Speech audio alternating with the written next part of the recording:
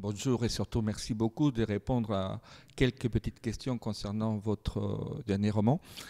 Et être choisi dans les prix, les prix des lecteurs et d'un côté, d'un autre côté aussi les prix des libraires, en même temps, je pense que pour vous c'est quelque chose d'important, de reconnaissance. Oui, oui, bien entendu, c'est un, un, une forme de on n'écrit pas pour ça, mais on écrit avec ça, on écrit grâce à ça, et donc un, prix tel que, tel que la FNAC, et avec ce, voilà, ce qu'il représente, euh, c'est quelque chose d'important, et c'est important d'être euh, d'être dans la sélection. Euh.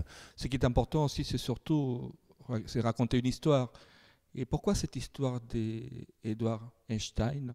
Il y a six ans, j'avais écrit une biographie d'Einstein pour Folio Gallimard et j'étais tombé sur quelques lignes dans les, dans les nombreuses biographies et les nombreux témoignages que j'avais lus sur l'histoire du fils d'Einstein.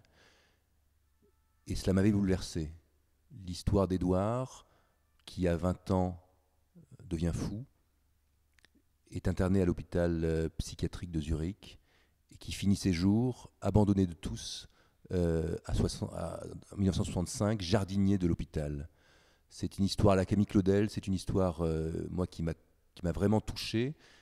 Et pendant des années, euh, elle m'a hanté. Et j'ai écrit Les Derniers Jours de Stefan Zweig, ensuite j'ai écrit La légende des fils, et pendant ce temps-là, euh, cette histoire m'habitait. Et cette histoire du fils d'un génie qui, qui, qui, finit dans le, dans le plus tragique dénuement. Et ça, ça, j'ai d'abord raconté son, son, histoire à lui, c'était un peu le journal d'un fou.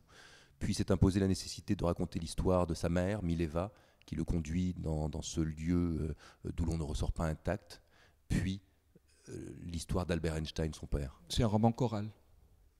Voilà, c'est un roman choral, c'est un, un, un, roman à trois voix, euh, où s'alternent oui, les trois voix de ces trois êtres en fuite. Mais en même temps, on a le sentiment à la lecture du roman que pour Einstein a peut, peut-être plutôt réglé dans sa vie, sauf l'histoire de son fils c'est lui-même qui le disait, il n'y a qu'un seul problème au monde qui demeure sans solution, c'est mon fils.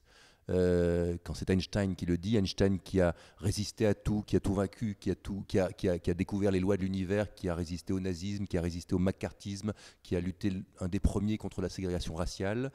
Il y avait cette crainte de la folie, il y avait cette, cette peur euh, de retrouver son fils, il y avait ce mystère, l'avait-il délaissé ou non? Et j'ai tenté de, de lever le voile sur ce, à la fois sur cette histoire méconnue du fils d'Einstein et sur ce, sur ce mystère de leur relation. Et quelle est la distance juste d'un romancier dans ces cas-là pour ne pas juger un personnage comme Einstein? Parce que ça serait facile de le juger concernant le rapport avec son fils. Après, il s'agit de la manière dont on aborde euh, son sujet. Moi, je n'en ai, j'en ai qu'une, c'est l'empathie c'est me, glisser dans les pas, c'est me mettre à la place.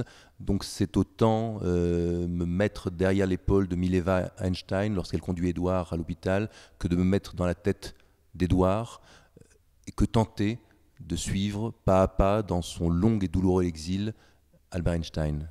Et une dernière question, 1933, c'est étonnant, c'est la dernière fois j'ai l'impression que Einstein a vu son fils en 1933, ça signifie quelque chose d'important dans l'histoire de l'Allemagne aussi. Oui, alors c'est la fin de c'est aussi la fin de la Mitteleuropa. Ça rejoint euh, les derniers jours de Stefan Zweig quelque part, et c'est euh, cet instant charnière dans la famille Einstein, ce drame qui se noue où un fils est conduit à l'asile et un père est mené à l'exil. Merci beaucoup, Laurent Sexic, de nous avoir parlé et donner surtout envie de lire votre ouvrage. Merci. Merci à vous.